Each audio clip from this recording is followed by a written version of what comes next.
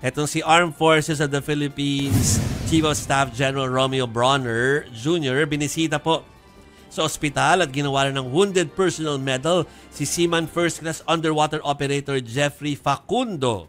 Sa po yung Navy na naputulan ng daliri matapos ang agresibong kilos ng Chinese Coast Guard habang nagsasagawa yung AFP po ng resupply mission.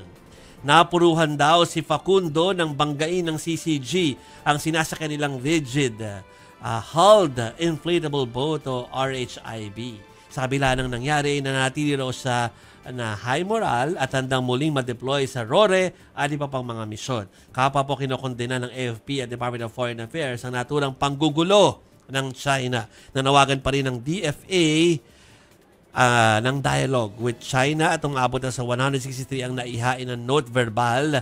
Ngayong taon pa lamang po yan, mga kapatid.